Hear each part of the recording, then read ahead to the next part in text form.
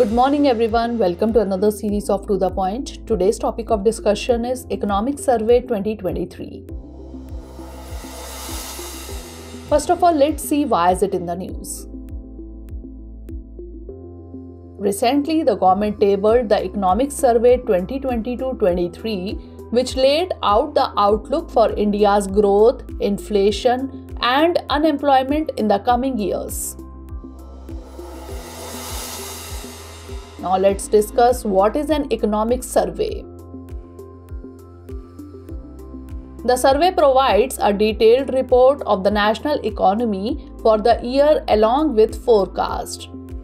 It touches upon everything from agriculture to unemployment to infrastructure. The survey is prepared by the Economics Division of the Department of Economic Affairs under the guidance of the Chief Economic Advisor. The current Chief Economic Advisor of India is Dr. V. Ananth Nageswaran. The comments or policy solutions contained in the survey are not binding on the government. Now, moving on to the key highlights GDP growth. India's growth estimate for financial year 23 is higher than for almost all major economies. India is to witness GDP growth of 6.0% to 6.8% in 2023 24, depending on the trajectory of economic and political developments globally. Inflation rate in India in the current financial year. RBI projects headline inflation at 6.8% in financial year 2022 23, which is outside its target range. Indian infrastructure sector. The return of migrant workers to construction activities helped the housing market witness a significant decline in inventory overhang. It is 33 months in quarter 3 of financial year 2022-23 from 42 months last year. Unemployment Job creation appears to have moved into a higher orbit with the initial surge in exports.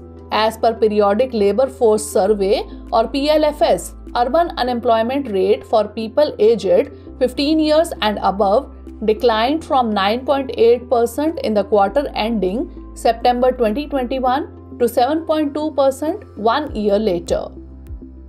And forecast with respect to global trade by the Economic Survey 2022. Survey points to the lower forecast for growth in global trade by the World Trade Organization from 3.5% in 2022 to 1.0% in 2023. Now it's time for the practice question. Consider the following statements regarding the Economic Survey 2023. 1. The survey is prepared by the Economics Division of the Department of Economic Affairs under the guidance of the Chief Economic Advisor. 2. The comments or policy solutions contained in the survey are binding on the government. 3. India is to witness GDP growth of 6.0% to 6.8% in 2023 24, depending on the trajectory of economic and political developments globally. Which of the above given statement or statements is or are correct? 1 only, 2 and 3 only, 1 and 3 only, or 1, 2 and 3? Send the answer of this question in the comment section. Stay tuned for the next episode. Thanks for watching. Have a great day.